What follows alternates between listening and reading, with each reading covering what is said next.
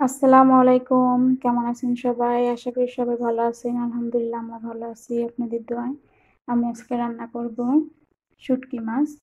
এখানে আমি পুটি শুটকি নিয়েছি। দেখতে পাচ্ছেন, আমি একটু টেলি নিয়েছি শুটকিগুলা।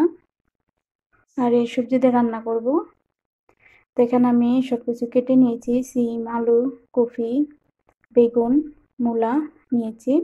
আর কিছু মূলা শাকের ডাটা নিয়েছি। দেখতে পাচ্ছেন।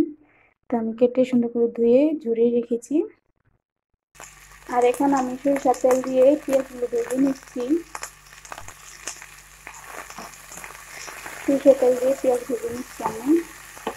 তো আমার রেসিপিটা আপনাদের কাছে যদি ভালো লাগে লাইক শেয়ার কমেন্ট করবেন।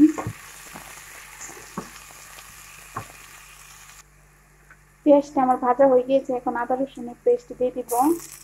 সাথে দিয়ে দিব হলুদ মরিচ গুঁড়ো। দিয়ে পানি দিয়ে ভালোভাবে কষিয়ে নেব। এখানে আমার মশলা কষানো হয়ে গিয়েছে। এখন আমি ফুটে এসেছে শুটকি মাছগুলো দিয়ে দিব। আমি শুটকি মাছগুলো সুন্দর করে গরম পানি দিয়ে ধুয়ে নিয়েছি। এখন সবগুলো শুটকি মাছ দিয়ে দিলাম। দিয়ে কষিয়ে নেব। এখন মশলার সাথে ভালোভাবে কষিয়ে নিব শুটকি মাছ দিয়ে সবজি রান্না করলে খুবই মজা লাগে খেতে।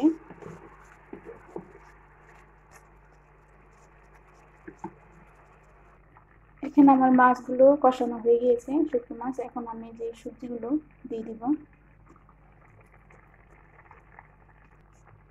এই তো সবজিগুলো দিয়ে দিয়েছি, এখন আমি ভালোভাবে সবজিগুলো একটু কষিয়ে নেব।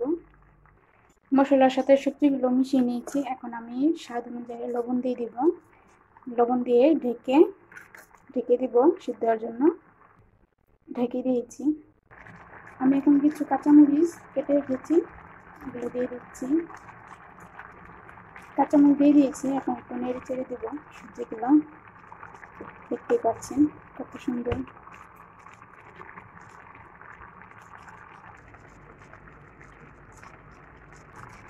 এখানে আমার সবজিগুলো প্রায় হয়ে গিয়েছে, এখন আমি এর মধ্যে কিছু ধনিয়া পাতা কুচি দিয়ে দিব।